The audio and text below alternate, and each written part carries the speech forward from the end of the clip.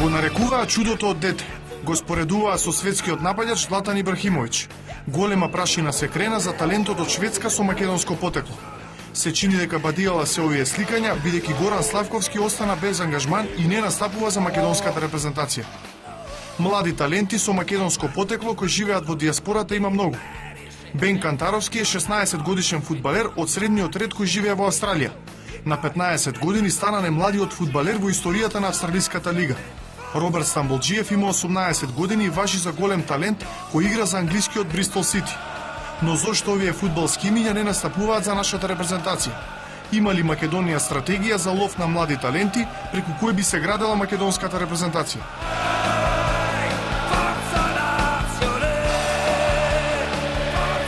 Малку потешка е комуникацијата и следењето на фудбалери кои настапуваат во Австралија, меѓутоа имаме многу фудбалски тренери, имаме многу наши контакти, луѓе кои секојдневно ни праќаат информации за такви играчи талентирани. Владо Божиновски, Спасе Дилевски, Сашо Петровски. Kantarovski lifts it back into top or Stanley. Knew he'd be there. Milicevic, clever. Petrovski. Sasho Petrovski is off the marks for the Jets, and they're off the mark in the Asian Champions League. Ова се фудбалери кои не и се познати на македонската јавност. Имаат македонски корени, живеат во Австралија и настапуваат за истоимената репрезентација. Оние кои сме имале можност да ги гледаме се Миле Стејровски, кој прикажа одлични игри за австралиската репрезентација на светското првенство во 2006, како и Били Целевски кој ги покажа своите квалитети на Олимпијадата во Пекинг. Но битката со нив е веќе загубен. Има многу примери каде што е, тие фудбалери не сакат се уште да се изнесат, чекаат да на некој друга репрезентација да ги повика или сепак и си ја гледаат перспективата на друго место и чувствата тука работат. Родителите сами треба да го да го култивизираат дето да знаат кај му се корените. Долг е списокот на квалитетни фудбалери во странство кои имаат македонски корени. Јован Кировски од Америка, Димеан Куловски од Шведска, а оваа сезона ги следиме настапите на швајцарецот Блерин Джемаили кој е стандарден во тимот на Торино. Според правилата на ФИФА, фудбалерите можат да ги сменат репрезентациите се додека не наполнат 21 година, иако дотогаш немале настап за сениорската репрезентација.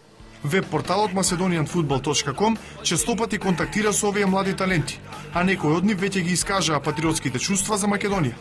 Проблемот е што Фудбалска федерација на Македонија нема никаков концепт ни програма како да се справи со оваа проблематика.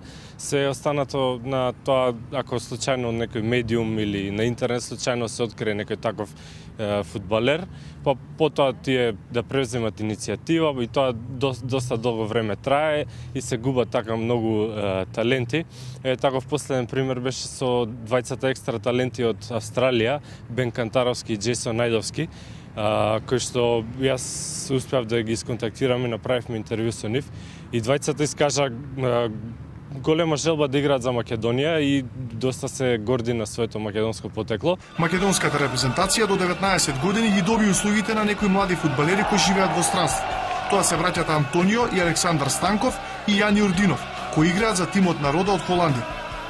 По препорака од Горан Пандев, на младата репрезентација најверојатно ќе им се приклучи 18 годишниот Пајтим Касами, кој игра за младиот тим на Лацио. Македонски таленти во странство има еден куп, но некој треба да ги открива, да ги следи нивните настапи, а на крајот да ги улови. Може би најуспешно тоа би го сториле професионални скаути, кои кај нас за жал ги нема.